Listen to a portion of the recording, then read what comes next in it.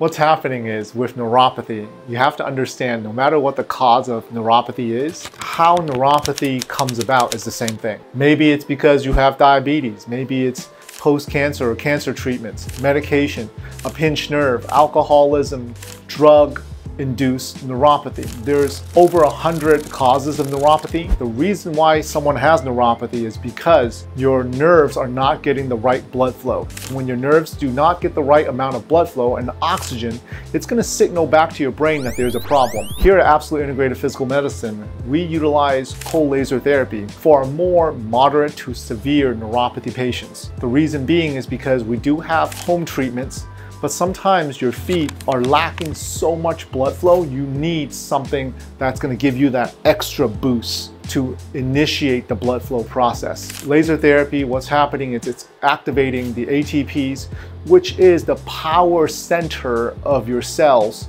to allow blood flow to happen through a process called angiogenesis, which is the making of blood vessels.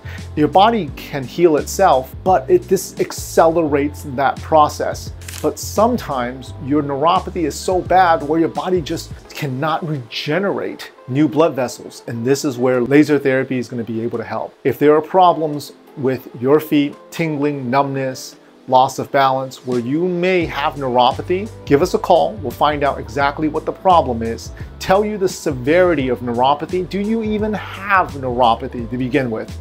We'll see you soon.